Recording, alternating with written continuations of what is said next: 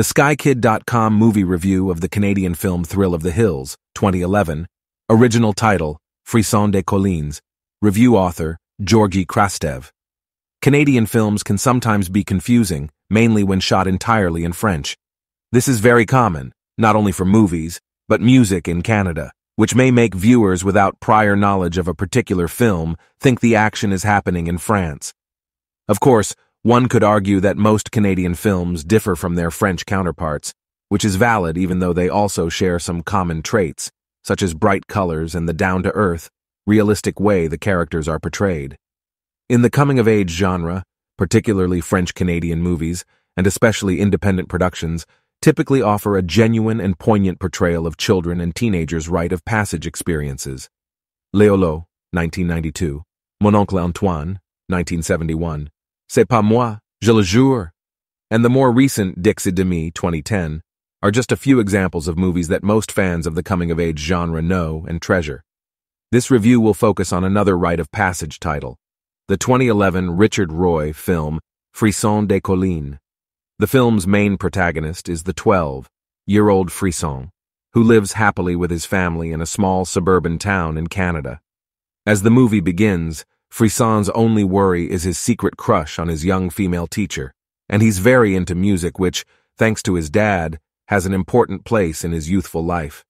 As the action takes place in 1961, that music is rock and roll, and in fact, other than his dad, Frisson's idol is Jimi Hendrix, whose rocking vibes play frequently throughout the film, the perfect soundtrack for a story from that era. An accident at work takes the life of Frisson's father, and that tragedy turns the world of the little boy upside down.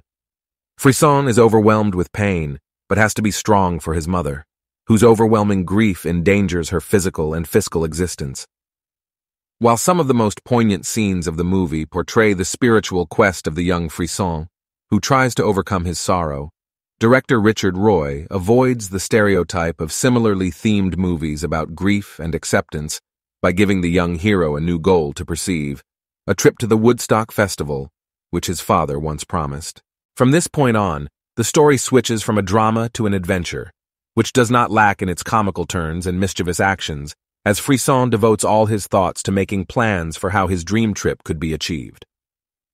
As the story of Frisson des Collines is one of coming of age, the film owes much of its appeal to the resourceful acting of Antoine Pilon in the role of Frisson.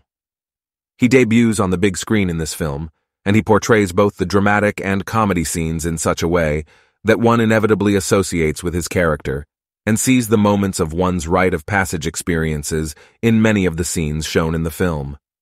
Closely associated with the hippie era, bright and warm colors dominate the scenes in the movie, and they simultaneously reflect the summer mood of the film. At one point, they mix into psychedelic visions of Frisson dreaming of his trip to Woodstock. Overall, the film failed to impress me with its story.